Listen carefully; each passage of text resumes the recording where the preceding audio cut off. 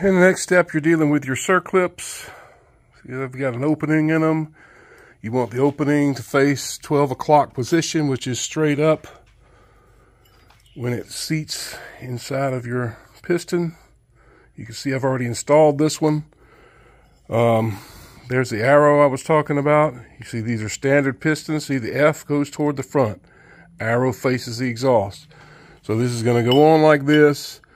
Um, I've already staged it. You want to stage one of your clips before you uh, go in with your wrist pin so that you've only got one to put on when, you know, just making life easier on yourself.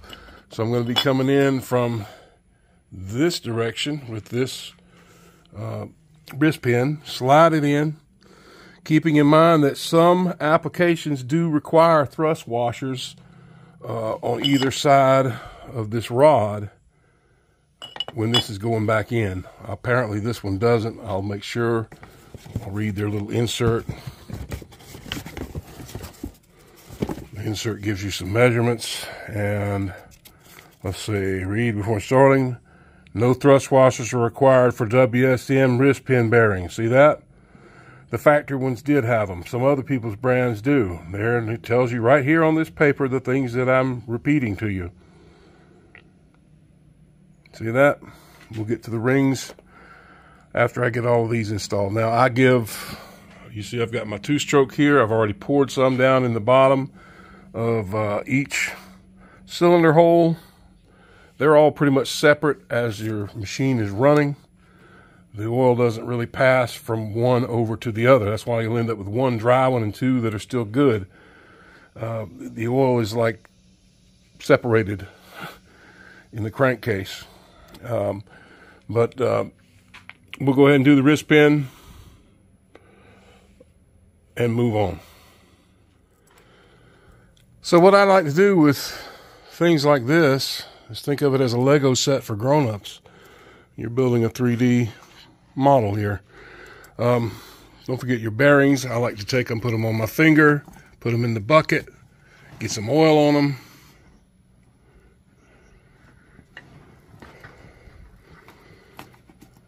Way they've got a liberal amount of oil.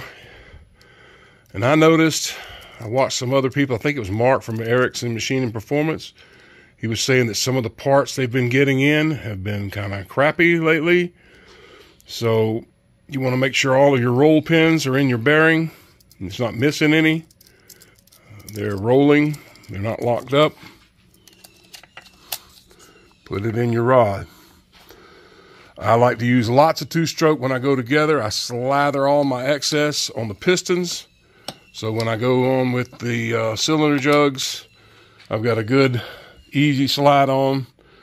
Yamaha, much easier than Kawasaki. Trust me, because you don't have the three to do it once. These are individual. So thumbs up again to Yamaha for their engineering. It is superior in almost every way. But... Uh, so this one's on. I like to double check with a light shining on both sides when I'm done to make sure that my circlips are fully seated because you can get them on there and they're not fully seated in the groove of the piston. The piston has a groove that they fit in and it holds the wrist pin that that swivels on. So two more to do, and that step is done. But two-stroke oil is your friend here. Use it, lube everything. It's going to smoke like crazy when you fire it up, but uh, that's part of the fun. Okay, all three pistons are in. See my arrows? All pointing to exhaust. All three are the same part number. That's another thing to make sure of. And then uh, one of the better practices to do is to take a piston without the rings on it and slide it in your jug before, and then you'll know if you got the wrong pistons. It should be a pretty close fit without the rings on it going in. Um, I didn't do that because I'm assuming everything to be fine. And I watched uh, Mark at Ericsson do my repair on my cylinder. And he sent me a standard piston as well. You see, he took measurements for his boring and all that. But uh, like I say, go back, double check all your circlips. Opening in the 12 o'clock position, fully seated. There have been many people that have done builds. Their circlips weren't fully seated. They came out and things came apart on them. It's not good. You don't want your engine coming to pieces right after a build. So next, we'll put the rings on. You know, they line up with the openings on these grooves. I'll show you that in the next step. Okay, so it's ring time. You want to make sure your rings all say the size of piston you're working with. 84 millimeter standard bore. It'll say it right here on the front. For the GP 1300R, make sure you got all the right part numbers and that they're all standard. You don't want to put too big of rings on. Um, the rings are pretty much they're going to be the same. The two rings are the same. And these, I am not, okay, these have got the little locky things on them. So, a lot of times the rings will be beveled and you make sure that the beveled edge goes down under the pin these don't have that. These have got the little, if I can focus on it. See how it's got the little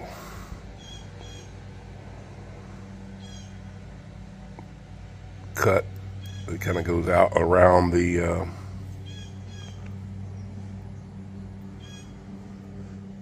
pin. So cuts at each pin, pop your rings on. So the next step I do, and I've already done that one and this one actually, I won't have to do it to the one I got from Erickson's, is to kind of touch these up with a ball hone, dingleberry hone.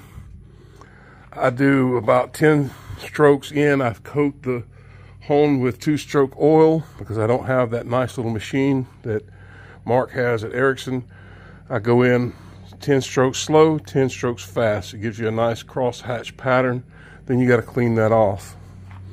So I'll, I'll, be over here in the cleaning pan and I'll clean those off with, uh, uh, usually I used to use old gas that I've pulled out of jet skis, but I don't have any, so I'm gonna have to use new fresh gas in that pan and I'll brush them out and uh, clean these up.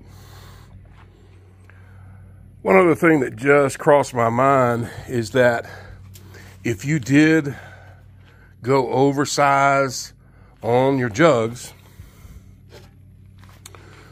then you're going to have to have your power valve shaved. You can grind them off a little bit, but you can, I see, see how the valve comes down in there. If when you make this chamber bigger, that valve is cut for a standard bore. If you're running larger than a standard bore, then your valve is going to hit your piston rings. So make sure you shave your valves down if you've got oversized. Otherwise, you're going to create a problem for yourself. Okay, so I've got to take out the power valves to clean everything properly. Um, and if you remember, I had a stripped out bolt head on this cylinder, I believe, right here.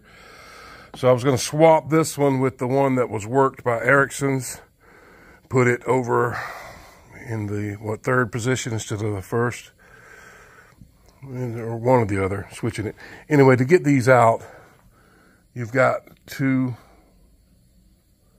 There's another one down in there and this isn't showing it very well. Let's get out in the sunlight. You've got two allens. There's the other one this one's smaller than that one. I don't remember the sizes, but if you got to sell Allen wrenches, it'll work. And these are the improper. In other words, with this style, I'd have to buy wave eater clips to retain the pin from dropping out of this power valve. I can order the upgraded versions from SBT. You take off that clip right there and then pull the whole thing out once you've got that out. And then you've got to replace the seals that are on either side of that shaft. They're tiny little oil seals. We'll get to that in a minute. Okay, so you pull out the power valve. You got it in your hand. Let's get in some light. My shop is dirt floor, bad lighting. Not the best for videoing. Anyway, you can see I've got carbon buildup in those two slots and carbon buildup on that scalloped edge. Now I'm going to take a wire wheel brush on my drill and I'm going to hit that and get all that carbon off. And I'm going to probably have to take a little screwdriver, which I've already got in my hand, and uh, just kind of chip that out of there. You'll do that for all your power valves. Clean them up, inspect your collar, make sure it's not missing. Power valves. Um, the problem with these was this tiny pin right here. When the engine would heat up, it would vibrate out and this whole valve would drop down in the cylinder and trash your cylinder out. Um, remember when you're reinstalling these that the scalloped cutout end goes down. Okay, or you can just note how you pull it out when you pull it out. And this one's easy because it looks like the grooves they cut in it, they're gonna face down with that scalloped edge. But I gotta get these cleaned up to get them back in there and get this one ready to go. Okay, so you've got it out, you cleaned it, you put it back in. Make sure you Loctite your uh, little Allen bolts so they don't back out on you. And look, you want a free moving valve. That way you know you don't have any carbon buildup causing that thing to bind up. Anyway, that's how you rip the gears out of your little motor. Is when those bind up with carbon buildup and it tears the gears out of the motor that actuates them. So I've got to order wave eater clips or I've got to order the encapsulating style of uh, actuator holder to fix this. And I've got to move this into another position so I won't be putting the uh, spindle with the cable wheels back on this one. So because I'm going to move it. Okay, the next step, or a step you could have done several times ago, you got to pull these seals out. All you do is you get a screwdriver and go up under them like this, pry them out. I don't know that I can do it one-handed on the phone, but you're going to get new ones. There they are, one-handed. Come out fairly easily. Probably would have should have done that earlier. I always seem to forget these until it's time to reassemble. Um, so yeah, it would have been better to do it earlier and just do it with the uh, cleaning, clean everything up. You're going to get new ones with your full engine gasket set or your top end set. If you're just building a top end, it should come with those seals. That's where they go in your uh, power valve, sides of your power valve case. Two for each one. Okay, reinstall your dowel pins for your cylinder and then put your gasket down. There's no sealant here, and these are torqued to 30 foot-pounds. Um, yeah, 30 foot-pounds. You'll probably want to get your cylinder in the up position to install the rings, slide them on. Uh, this will only fit in one direction because of the way the pins are on the bottom, so you can't accidentally put it on backwards, even though it would seem like it would fit that way. It won't fit that way if you put your pins in. Don't forget your gasket, gasket down, no sealant. Holding your rings in with one hand while you slide the uh, cylinder down over the piston. That's what I'm going to do next. But I'm going to get this piston in all the way up position before this I do plate that. has got to go back on. Um, generally speaking, all the other ones I've done, see the this is actually two plates. This thin plate goes first behind the reeds like that, and then it bolts on. I'm going to look at my video where I took it apart, which is another good reason to video your work that you're doing and make sure that this is the way it goes because guess what? It'll fit either way. But I don't want to put it on backwards. Now you can kind of look at the markings before you wire wheel brush it and tell which way it goes. But I've got video. I'm going to go back refer to the video and make sure I don't put this plate on backwards. So that's where we're at right now. All right, quick section. Say you've got a power valve in your 800, 1200, this is a 1300. This one didn't want to come out. So I got it up, and it, what happens is they get carbon buildup on them. So what I did was I got the valve up, and you can reach in here and push them up by hand. Um, you can see I've freed it quite a bit because I've cleaned it.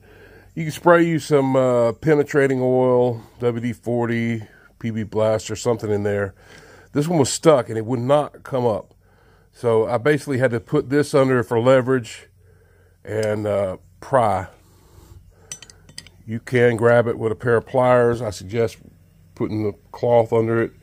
You don't want to damage these. These are uh, unique to the 1300 and they're about $130 a piece for this part. So don't damage these. The problem that the older versions of these were having, this pin would come out when the engine heated up, thing dropped down. I think I mentioned that. And it would tear your piston all to pieces. Supposedly they fixed that problem. I don't know. But these are a little different than the 800s and the 1200s that I've worked on. This is the first 1300 I've ever worked on. Lots of carbon buildup on these that you got to sand off, grind off with a wire wheel brush, let them soak. It'll make it a little softer and a little bit easier to get off. But once again, that scalloped edge goes down when you're reinstalling this. One more thing to mention before we move on to, uh, I gotta put all these back together is the seals. I just push them in with my thumb. You know, you pull them out with that screwdriver, push them in with your thumb. This side that's open like that goes in on all of them. And so with the three cylinder, you've got six of those to do.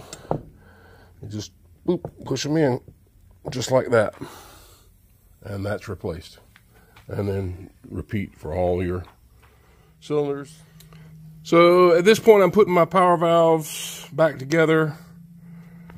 Uh, the one hex bolt there, that's the larger one. It's supposed to be metric. I'm using a standard wrench, so it fits a little tight. But uh, let's see if we can get in here. It's kind of dark, but I'm getting that in.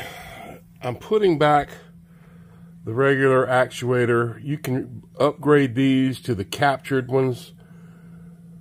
They're $27 a piece from SBT. They are closed on the ends like this. If you use those type, you don't have to buy a wave eater kit. I have a wave eater kit set coming to replace these. This is obviously what it looks like when it's together. Um, the wave eater kit will be a clip it just presses straight down on top of this without removing the bolts. Remember, you've got to put Loctite on these bolts. You don't want them coming loose.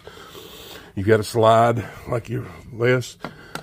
Since I swapped these, I had to take this off, which you got to take them off to clean your uh, valves anyway and clean out the hole that they go in. But um, so I'm building this, putting it back together. You put your actuator in and you line up this and you just have to lift up on this a little bit to get it lined up and I have to have two hands to do it as I was saying before the compressor kicked on two hands to do it you line up your hole there with the shaft Loctite on your Allen screw stick it in these two go down in the down position for the cables that attach, and they are numbered one and two. If I can see that with this, it's gonna come out. It's just too dark in this shop. I've got a shade tree shop to go along with my shade tree channel. It's just not not well lit and I don't have any kind of studio lighting, but there is a number one and a number two stamped on this. It tells you which cable goes in which position on that wheel. Um, still got to slide that on, solve my piston problem. I'll put it all together. The Wave Eater kit comes with an upgraded spring piece. You won't use these plastic things that Yamaha used to space with the little rubber pieces they put on there. You won't use those once you stick the Wave Eater kit. It has a spring actuated piece that stays in there and does not utilize those anymore. But remember to put your washer on and then your clip. These clips will bend fairly easily, so if you have to pinch it closed a little to tighten it up before you reinstall it, do that. Um, and there's only the one washer on each side. See if you can see it. So there's a clip there with a washer, and then here, washer. The wheel side does not have a groove for a snap ring, and I think it had a plastic washer that broke. So I don't have a washer to go on this side, but I do have one for this side. Just one important note, your middle shaft for your middle cylinder is different because it has to have this groove cut on each end. So it's, you know, it's different. So all three shafts for each cylinder are different, but they will go in any cylinder. So you can mix your, match your cylinders, but these shafts have to go in the proper position. And there is a special, when I get to a reed valve, one reed valve is different for the middle on this one. It's not like that on the 800s. I'm assuming the 1200 will be the same way. The middle reed valve is shaped different than the than the other two. See, it has ears on both ends. The other two go like this, like that. And they kind of made up like this. Let's we'll do a picture of it when we get there. But yeah, the middle one is is the only one that has the angles on both sides. Okay, if you're not installing wave eaters, which I do not recommend, going back with the old, you'll notice that the when you put these on, you're going to have uh, one will be facing one way and the other one will be facing the other way. That's normal. And so this Yamaha, is what Kawasaki uses, Kawasaki. these little rubber boot things, which are easy to pull off. The only thing that secures them on there from coming off are those little plastic clips that Kawasaki gives you that fit right there. So this is what it looks like without the boot on it. It's just a piece of plastic that, uh, you know, slips in it kind of just slips in.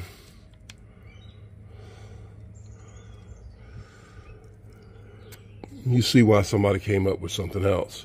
Of course, that's usually covered by a boot. And then the only thing that keeps it from backing off is a plastic clip right here. Just a plastic clip. This is factory. That's the only thing that's keeping that on is that little piece of plastic. So Wave Eater came up with a little bit better deal. And then, of course, the retaining clips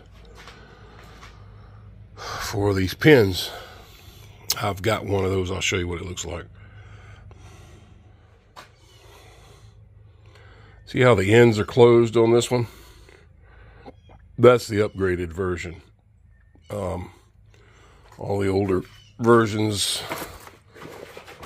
don't do that. I've got a little box full of these. Let's see if I've got another one in here. No, but I can show you on this 1200. This is a 1200. See how the ends aren't closed. And you'll also notice something wrong with this power valve in this 1200. The, uh, the rod has come out or broken right there on that power valve. And that's what was happening with these. I think I've got a power valve in here. This is out of one of the 800s that I've built, that pin. But you saw on the 1200, it's completely missing. One of the other things that will happen is this edge right here will break this piece right here will break off and go down into the engine on one or both sides of a power valve right there. And cause you all kind of problems. Tear your cylinder all to bits. But that's it. I mean you could go with back with this factory just like they had it. You see it works but i'm uh i've spent the money on a wave eater clip kit for this one and I will wait till it comes in before I put these back together because the clip's got to go on there. And if you remember, your bracket for your cables goes under here. So even if you put these back together, you're going to have to pull these two bolts again to put that bracket back on. Um, I got to repair this hole because it's the one that was walled out. It, it used to be in this position. Got great threads on this one. This is where that heat sensor, I believe, goes in there. So now my exhaust will bolt onto these two and the heat sensor will go here. All right, let's talk about this head gasket. We put it on here. If you look at the shape of the head, you've got kind of an oblong piece here. Okay, so let's say you put this on like this. Well, see how your gasket doesn't fit right? See? Everything will line up. You could put it on like that, but that's not right because your gasket isn't right. Okay, so then you could, uh, let's say, flip it upside down. Then you got this tab sticking out where the exhaust goes in. So that's not going to work you know, because uh, that exhaust system, you know, this is going to be in the way. So how this goes, see how they got the rivets on this double gasket? It's like this. See how that fills that? Everything lines up. And you don't use any sealant or anything. See how the tab is now over here out of the way of everything. This is how that gasket lays on there. So Make sure you put your head gasket on the correct way. No sealant. Um, I looked at the old gasket. They say you can reuse these if you're just doing a re-ring. I've, I've read on the forums where people say they've reused the head gasket 12 times. Me, I don't like to redo my work. Um, if I were going to reuse it or had to reuse it because I couldn't get parts, I would use some sort of uh, uh, head gasket sealant compound, but it doesn't call for that. Now, all I did was try to clean this up with a Dremel as best I could, and I'm going to run with that. So that was my, what was it, the front cylinder on this was bad. So the head goes like that, bolting on. And uh, yeah, because your these bolts go and hold the exhaust manifold, which bolts onto these two. So that's how the head goes. Don't put your head on backwards. See the pipes, the water pipes are out toward the exhaust side or the power valve side. That's how it goes. So I got to get all the head bolts. They should be over there in that bucket. Put them in. I'm sure it's 20 something. There it is right there in Newton meters. 34.3 Newton meters. And once again, all of your torque sequence is numbered. See that? One, two, three, four. Well, that's four, five. There's three right there. So anyway, your torque sequences are there on the top. And let's remember this one had that had, have a ground strap, which I've got over there as well. Um, grounding. There you go. Don't put your gasket on wrong. Don't put your head on backwards. Yes, I did that on the Kawasaki. I get in a hurry, trying to watch what I'm doing through a camera. Doesn't always work out well. And that's a remember, these two head bolts cannot be torqued until the engine is down in the machine. Those are those long ones that go through the bracket that hooks up to the exhaust. So you got to leave these two out until your uh, final assembly. But the rest of them, we'll go ahead and get in, snug down put some blue Loctite on them, and call it good.